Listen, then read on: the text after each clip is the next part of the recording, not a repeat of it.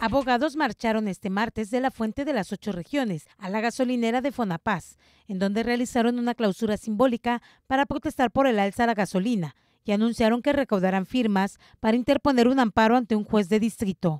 Bueno, hoy se convocó a la marcha pacífica a las 10 de la mañana para, para salir de las ocho regiones para acá.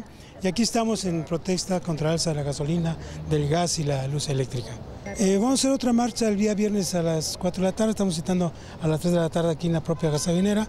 Vamos a salir al Zócalo para recabar firmas también para un amparo en el Zócalo.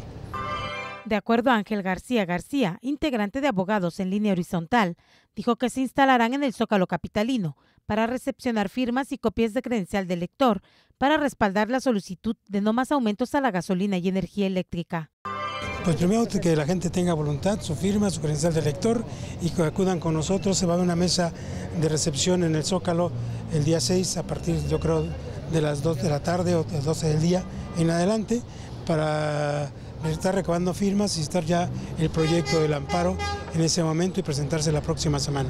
Ante un juez de distrito, alegando la inconstitucionalidad del, decreto que, ah, que crea la alza de gasolina y del gas y todas las alzas que ha habido en este, en este año pidieron a los comerciantes y empresarios unirse a las manifestaciones y protestas para apoyar y evitar que el gobierno siga realizando estos aumentos arbitrarios que van en perjuicio de todos los ciudadanos. Con imágenes de Manuel Cris informó para MBM Televisión Alexi Espinosa.